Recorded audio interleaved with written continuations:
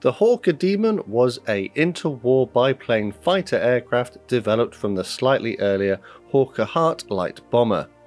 Entering service with the Royal Air Force in the early 1930s, some examples were still in service at the outbreak of the Second World War. Hello everyone, I'm Matt and this is Model Minutes, and join me on the workbench today as I show you how I built this Airfix Vintage Classics Hawker Demon in 172nd scale.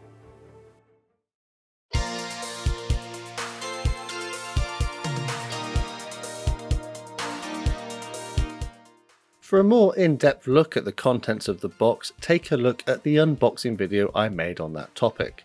For this video I'll be primarily focusing on how it builds and what it's like in the end.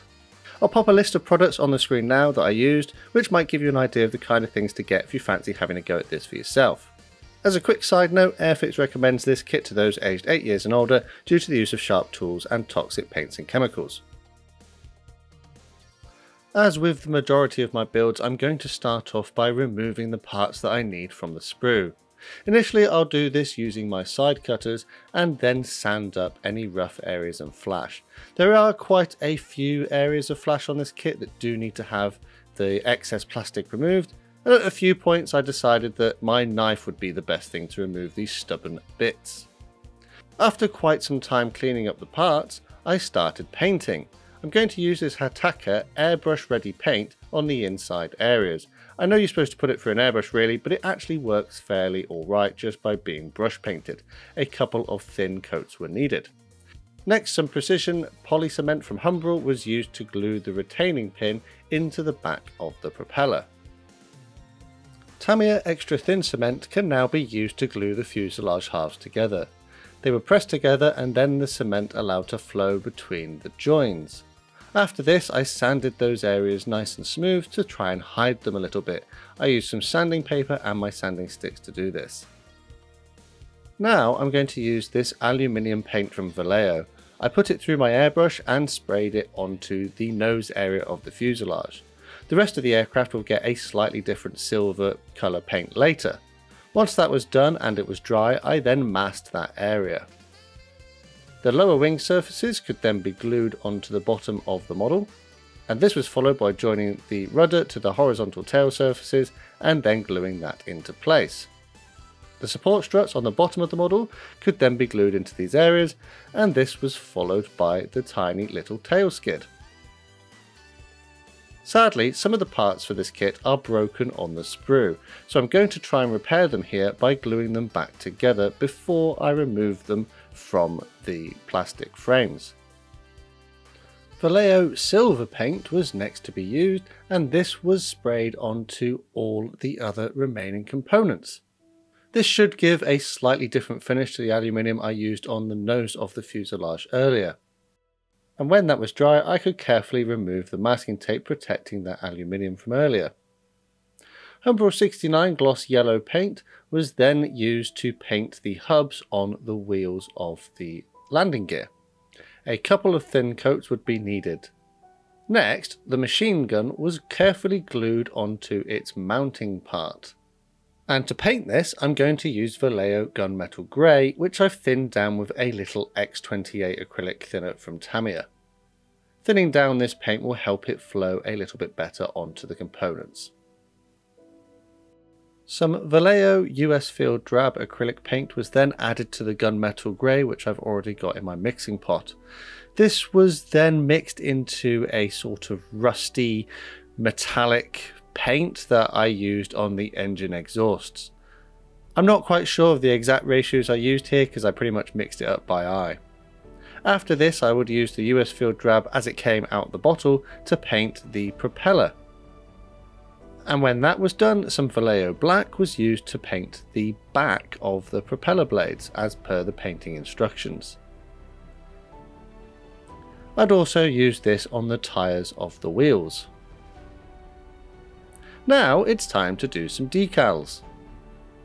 The decals are printed by Cartograf and they look absolutely fantastic. I cut the sheet into more manageable pieces and then would proceed to soak them one by one in water ready for application. I'm going to use some micro set in the blue bottle as my setting solution for this build. I'll apply this to the model where the decals are going to go and then add the decal on top. The micro set should make it settle down into the surface details a bit better. The control panel one was a little bit fiddly to get into place, but on the whole, the majority of them aren't too bad. The larger ones take a little bit of care as well, and the wheels needed a little bit of manipulation to get those ones in the right place. But after a little bit of time, I had all the decals onto the model. Now for the second stage of the setting solution process. I'm going to use Microsol in the red bottle on top of these transfers to really sort of melt them into the details and look as if they are painted on. To seal in the decals I've just applied, I'm going to spray the model with some gloss varnish. This should help protect all of those transfers from being rubbed off in the future and also give a more uniform finish. But because I still want to maintain that difference between the nose and the rest of the aircraft, I masked up the nose again and then sprayed the remainder of the aircraft with the matte varnish to try and dull down that shine. So the nose should be quite glossy and the rest of the model should have a slightly more matte finish. I find the Vallejo range of paints quite good to spray with. When that was all dry and the tape had been removed, I carefully applied cement to the mounting bracket for the machine gun and then glued it in place. This was then followed by carefully installing the gun sight in front of the cockpit for the pilot. Now it's time to start with all of those little support struts for the upper wing. Not a massive fan of this step as it tends to be the most fiddly part of a biplane build. After quite some time and patience, and feeling as though I needed a few more hands, I eventually got where I needed to be and could move on to installing the landing gear struts. Again, another fiddly step. This is the thing with biplanes, they are quite fiddly by nature, which is why I tend to leave a few things off at times, particularly the rigging, but I'll talk about that a bit later.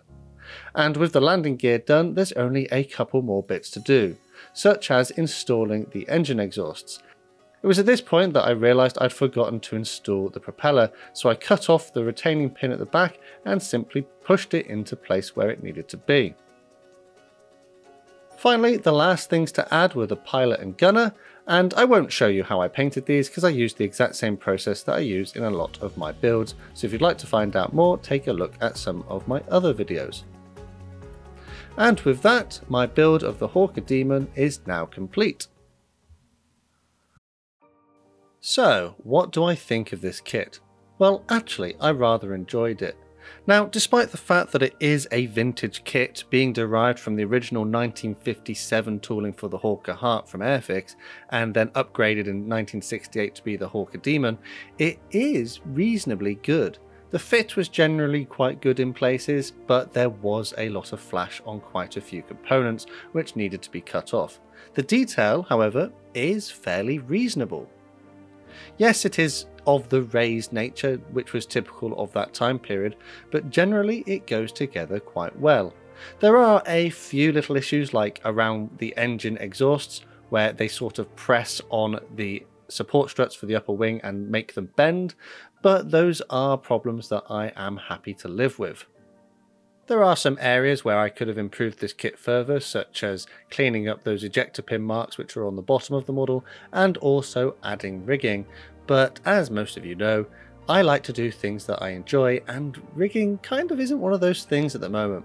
But for those of you who'd be curious as to what a rigged Hawker Demon might look like through the magic of Photoshop, which took me about 20 seconds, this is what it might look like.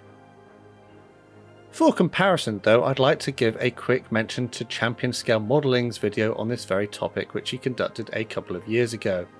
I'd consider my build here to be a fairly basic standard build, however Champion Scale Modelling has gone above and beyond with a few extra tips and techniques which are definitely worth checking out. So I'll post a link in the description to his video and if you go and take a watch, let him know that I sent you. But anyways, back to the review. This kit cost £6 back when it was released a couple of years ago, which I think is about right for what you're getting. Yes, the tooling is really old, and some of those plastic parts were damaged and there was quite a lot of flash, but for someone with a little bit of experience, it was easily remedied. Airfix reckons this is a skill level 2 kit, and despite having a fairly simple paint scheme, I'd be inclined to agree that it does take a little bit of work and previous knowledge in order to assemble a kit of this vintage.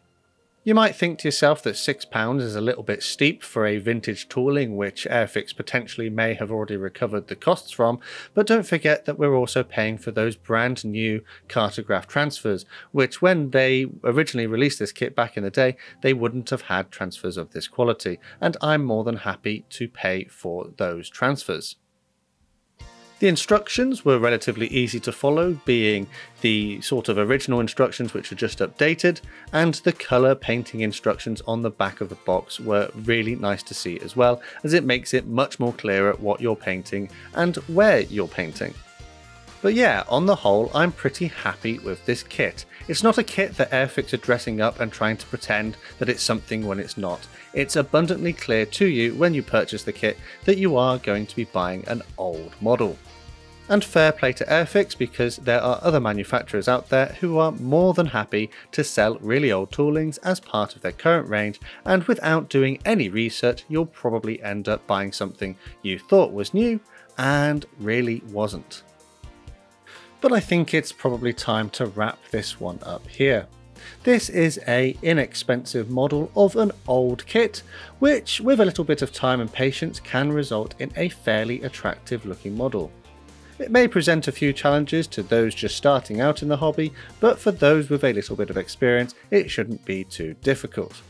Let me know down in the comments what you think of my build and if you think my review was fair. As always, quick shout out to my patrons and channel members for the extra support they give the channel. A massive thank you to these guys on screen, and I'd like to welcome to the club Jonathan, who joins us as a channel member here on YouTube.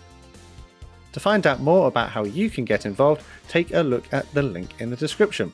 If you enjoyed this video, dropping a like and subscribing to the channel if you're new here would be greatly appreciated.